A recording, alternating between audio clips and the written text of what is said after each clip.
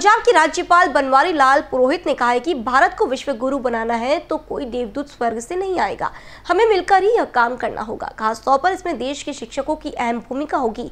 वे भवन पीपी विद्या मंदिर की चिंच भवन शाखा के उद्घाटन अवसर पर बोल रहे थे।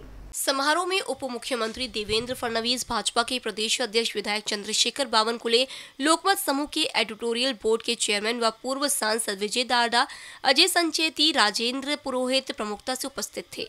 इस दौरान पुरोहित ने कहा कि शिक्षकों में सकारात्मक परिवर्तन लाने की असीम क्षमता होती है। सफलता पानी है तो जीवन सरल और पारदर्शी होना ज़रूरी है। आप किसी भी धर्म के हो, पर भगवान पर भरोसा रखना चाहिए।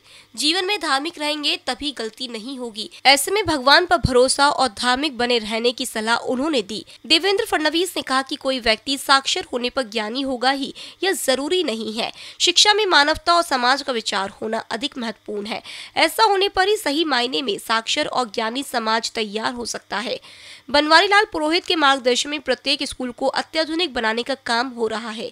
उन्होंने कभी शिक्षा का बाजारीकरण नहीं किया। नफा नुकसान का विचार न करते हुए केवल उत्तम शिक्षा देने पर ज़ोर दिया। इसी वजह से वे इस संस्था में गुणवत्ता को कायम रख सके।